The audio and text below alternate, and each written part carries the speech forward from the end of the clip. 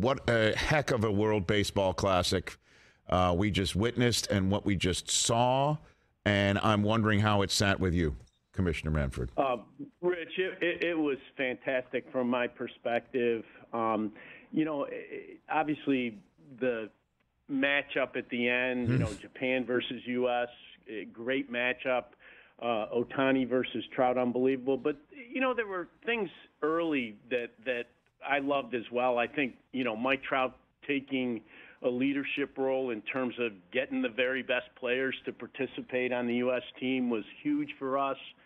Um, it, you know, some of the teams that um, you, know from countries that you don't ordinarily think of as baseball countries actually winning games in the tournament. Um, all, all great developments from our perspective, and the business piece of it. I mean, we just killed the Licensing, viewership, attendance um, all the way around. And so, what do you say to fans who are wondering why this this happens? Why does this have to happen? And uh, obviously, fans of uh, the New York Mets and the Houston Astros with Edwin Diaz and Jose Altuve getting hurt significantly in these contests uh, might be the, the, the loudest voices in the room. What do you say to that those fan bases? Commissioner? Uh, look, the, the WBC is about growing the game internationally. Um, and, you know, if you look at the level of interest that was generated in um, Japan during this event, throughout the event, we had nights where, you know, over 40%, nearly 50% of the homes in Japan are, are tuned into the game. That, that, that's crucial for us. I, mean, you can't, unless you want to be, you know, just a North American kind of um, domestic sport, um, you have to play in this international arena. In terms of the injury issue, you know, I, I, I think it's really important um, to focus on what the players said, to tell you the truth. I mean, after the injuries, they pointed out, look, people get hurt in spring training. You know, I mean, we don't want to see anybody get hurt. Right. But um, you know, people get hurt in spring training too, and and um, I, I think overall, nothing in life is all good.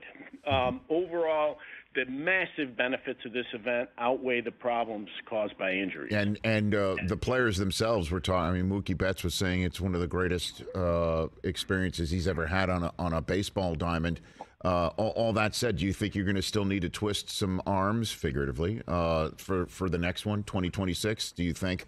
Uh, you, you, know, I, I, I actually think um, that the fact that players like Mookie and Mike Trout and Adam Wainwright went out and talked about this as being one of their their um, greatest experiences in baseball, um, that that will entice other players to participate.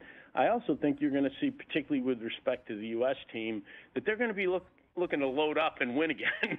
um, I really do believe that. You know, the, baseball players pretty competitive, Rich, um, and nobody likes to lose. So um, I, I think the event will continue to grow. I really do. Well, I mean, uh, like I was saying on my show, Commissioner, and I'll just repeat it here uh, Ohtani versus Trout was a bring the entire family into the room moment in my household. The entire family was there. We just called yeah. everyone in, like, let's go see this, and we were just on the edge of our seats the entire time. I mean, that that's what it you was. You know, we, we, we actually had gone um, downstairs to get ready to, you know, go on the field and, and, award medals. And um, I'm standing there and I'm literally thinking, I can't believe this is actually happening. Uh, literally, mm. it's like one of those things. You, you could not ask for a better end to the tournament. Catch the Rich Eisen show every single day on the Roku channel, 12 to 3 Eastern, for free.